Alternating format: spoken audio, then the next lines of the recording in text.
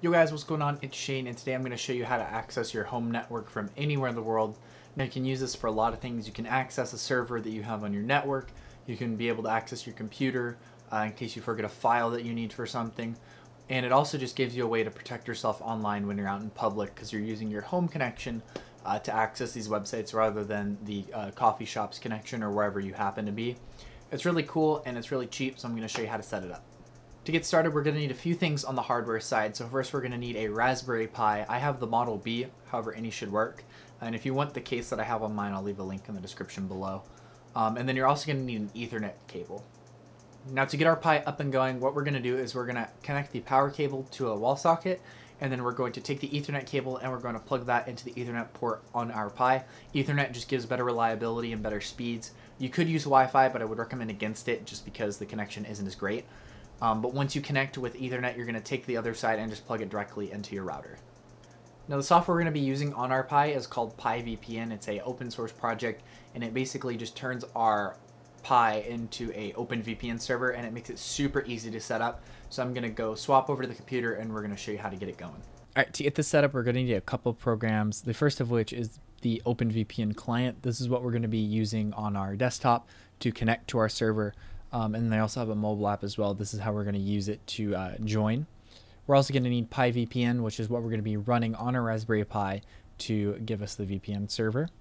And then you're also going to need FileZilla just to access the files, and then PuTTY to connect to our server. I'll have links for everything down in the description below, so you don't have to go hunting for it. All the links will be there.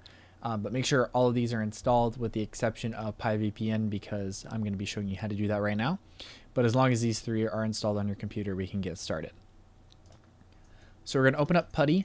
And if you don't know the IP address of your Raspberry Pi, you can just type in Raspberry Pi. Um, and it should be able to find where it's at. I know the IP address of my server though, so I'm going to be typing that in instead. But once you have that, you want to do it on port 22 and you can just press open. And we'll get this window here. I am just going to resize it for you guys so you're able to see a little bit better.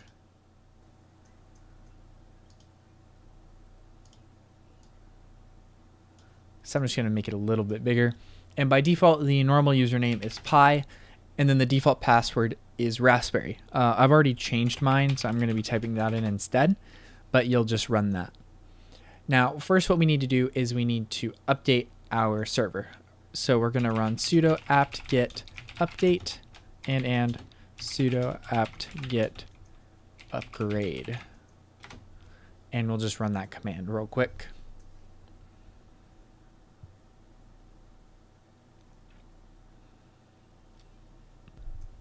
So as you can see, mine is up to date. So what we need to do next is set a static IP address for our Raspberry Pi. That way the OpenVPN server can work and it'll also help with port forwarding, which you will need to do anyway. So to access this file, all you need to do is just type in sudo nano forward slash etc forward slash dhcp cd.conf. And it'll bring us to this file. So we want to go all the way down to the bottom and you'll see right here, you'll see your two interfaces. WLAN 0 is your wireless, and then ETH 0 is our wired connection. Now, I recommend you use a wired connection, like I said. So I'm going to be setting the IP address of the wired connection to this IP. So 192.168.0.74. You can set the wireless one to whatever uh, your router assigned it by default, but I'm specifically going to stick with this one for the uh, Ethernet. Once you've done that, you can just close out of the file with uh, Control X.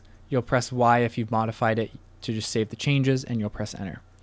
Now that you've done that, you need to restart your server again. So to do that, you can just type in sudo reboot.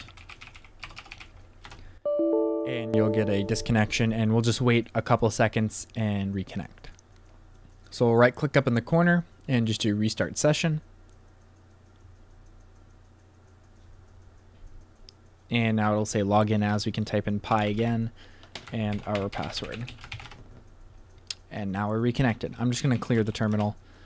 And then now we can install PiVPN so to do that we're going to go to the website which is right here.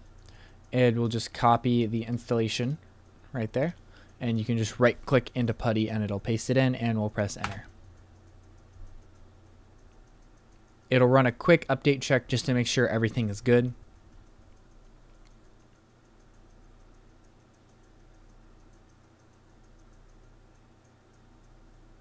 And looks like we're up to date, so it's going to continue with the install. Now it's just downloading all the dependencies that PiVPN needs, so we're going to wait for that to finish. And it looks like it's done, so we can just press enter. It'll say that it needs a static IP. We've already set that up, so we can just press enter. And we can choose an interface. So I'm going to be using Ethernet. It's already selected, so I'm just going to press tab and do OK. And those current network settings are correct. Those are the ones that we just set up. If for any reason they're not the same as the ones you just edited in that conf file, you can just press no and it'll let you type it in. So that is good for me. We'll press OK. Default gateway. This is the IP address of your router. Uh, if you don't know how to find this, you can just go into command prompt and do ipconfig forward slash all and find your network adapter, which this one's mine, and default gateway right here. That is correct though, so we're just going to click OK. It'll ask once again if the settings are correct, and we can just click yes. We'll click OK. That's fine, so we'll press OK again. And then it just wants us to install unattended upgrades. Since we are going to be port forwarding, this machine is open to the public internet. Uh, so it's good to have this on for security updates. We'll click OK, and then we'll say yes. For the protocol, we're going to use UDP click OK. And then you're going to choose the port for your VPN. 1194 is the default for most VPN connections. You can use 443 if you have a reason to believe that whatever Wi-Fi hotspot you're going to be going to uh, might have this port blocked. Uh, so 443 is a good alternative. Um, I'm going to choose a completely different port. This is just for me, uh, but I would do 1194 or 443. It's up to you. It'll ask if it's correct. So that looks correct to me. So I'm going to click yes. And then know if we're going to do OpenVPN 2.4. Yes, uh, all of our clients should be using this, so we can press yes. It's more secure. And then certificate, that is a good size. We're just going to press OK again. And as you can see, this is very forward uh, in terms of an install. And then now, will it use a public IP to connect or a DNS name? So if you have a static IP address, you can use a public IP. If you do not have a static IP address, meaning your IP address changes from day to day or once every couple weeks, you want to use a DNS entry. I'll have a video link below showing you how to set up a dynamic DNS for your router. So that way, if for any reason your IP address changes, it'll always stay up to date and you won't have any connection issues. I have a static IP, so I'm just going to leave the public IP and press OK. Now you can choose your DNS provider. Google is fine. Again, I'm just going to do Cloudflare. Uh, it's personal preference for me. And okay. Custom search domain, no. And then the install is complete. It tells us what we need to run to create our profiles. So we can just press OK. And it's going to ask for a reboot. We'll say yes. And OK. We'll get the error again. That's normal. We'll just press OK. And then we'll wait a couple seconds and reconnect. So we'll right click and restart session. Log in again. And I'll just clear the terminal again. So now that the terminal's clear, we can create our profile. So to do this, we can just type in PiVPN add and press enter. Now to ask for the name of the client, I'm just going to type in Shane Laptop it'll ask how long the certificate should last. 1,080 days is fine. I'm just changing it to 365. Personal preference. We'll enter a password for the client. And it'll have us verify it again. And it will create the profile. So I'm going to create one more just for my phone, just to show. And I'll do Shane Mobile. We'll do 365 days again and a password.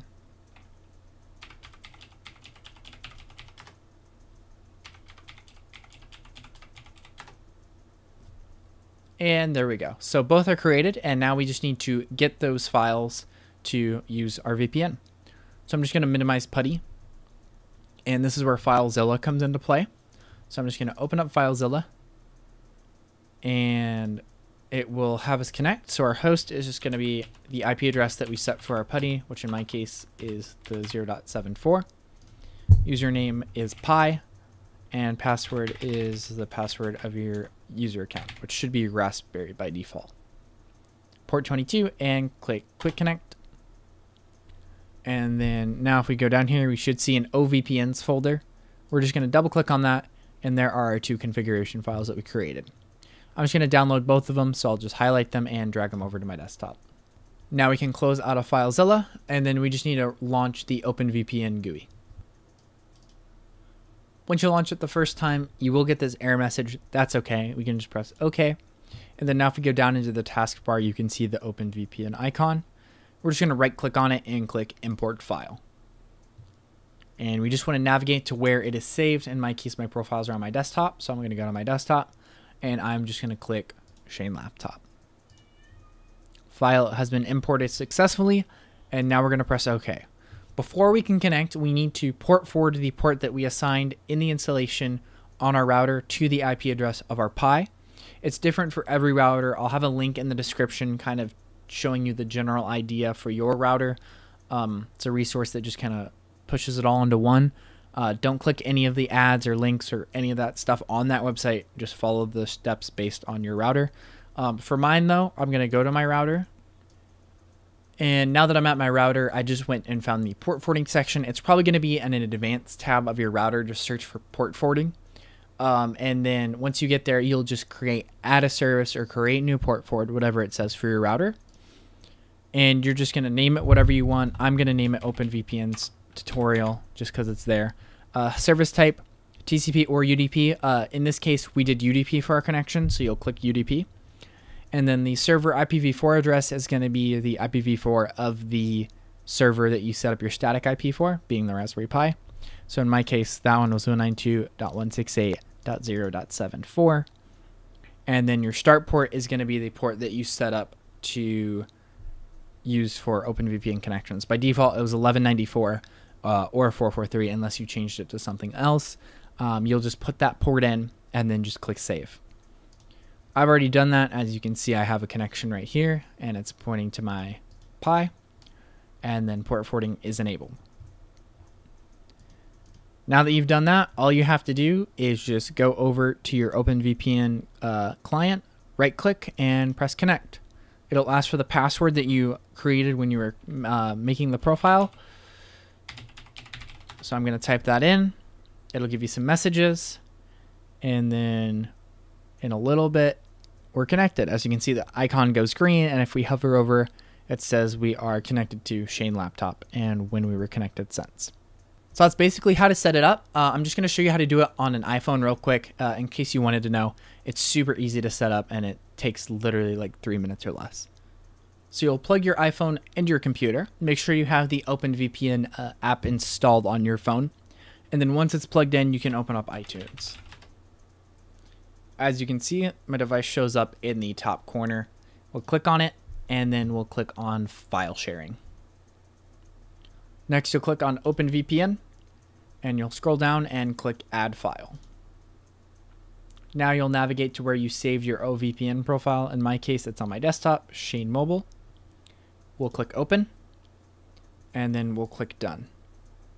And as you can see on our device, it shows the profile available for import. We're just going to click add. And you can rename it to whatever you want. I'm just going to rename it real quick.